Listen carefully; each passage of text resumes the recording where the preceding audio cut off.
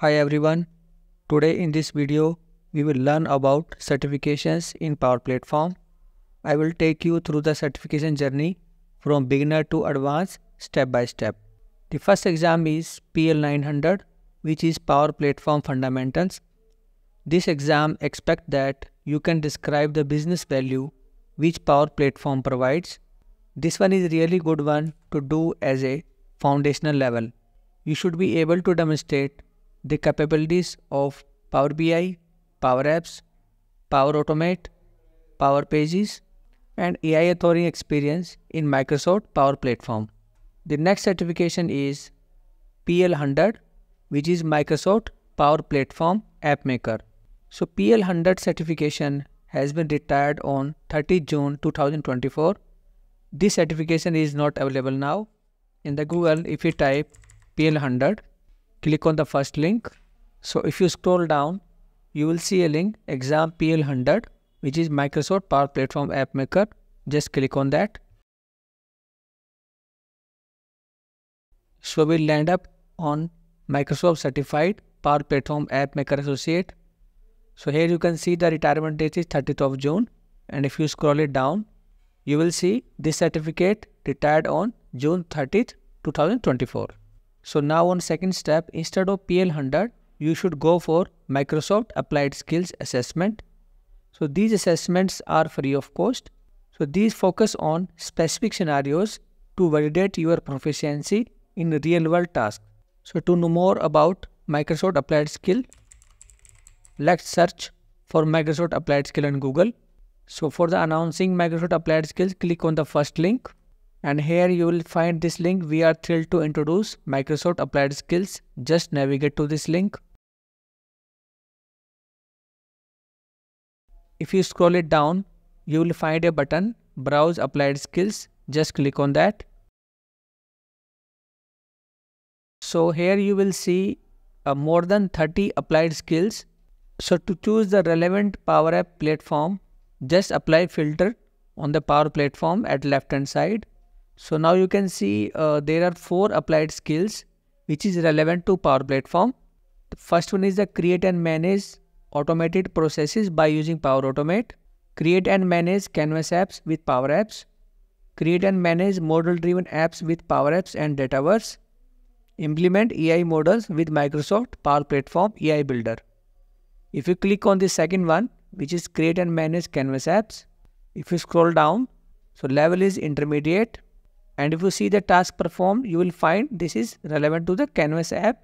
So this one is similar to PL100, which was Power Apps Maker certification. So if you scroll it down, you will see the assessment preparation.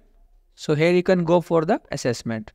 So likewise, you can navigate to each one to know more details regarding the assessment. Once you complete with Microsoft Applied Learnings, then you should go for Microsoft Power Platform Functional Consultant.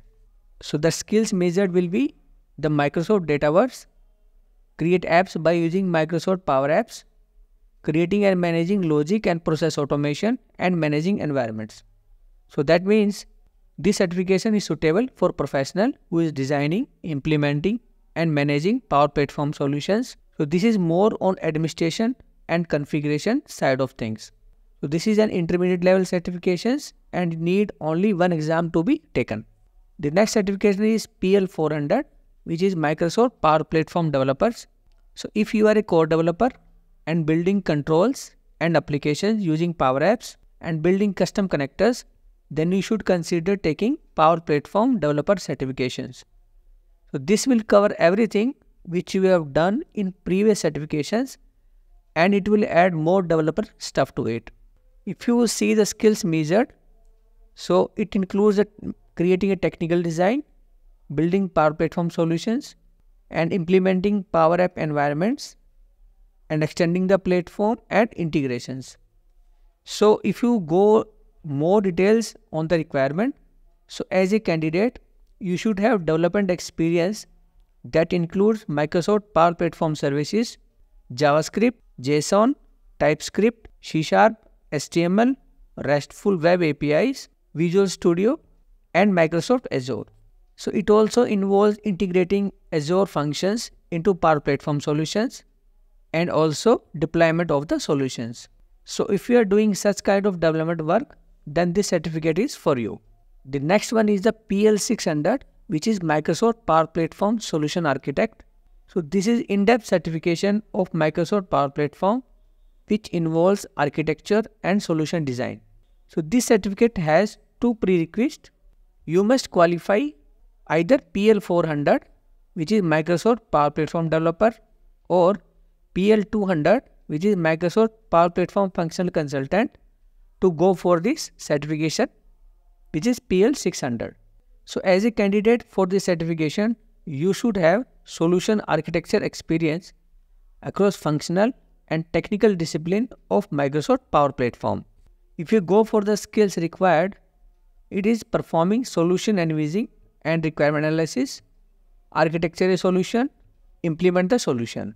That means you should be able to facilitate design decisions based on best practices on various aspects which includes development, configuration, integration, infrastructure, security, licensing, storage and change management.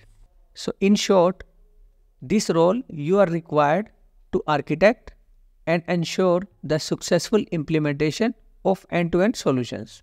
So this is all about Power Platform certifications and if you are going with this certification, you should follow this order which I have demonstrated here. You will find all the relevant links to all the certifications in the descriptions. Thank you for watching and if you found this helpful, be sure to like, subscribe and hit the bell icon for more updates. Thank you.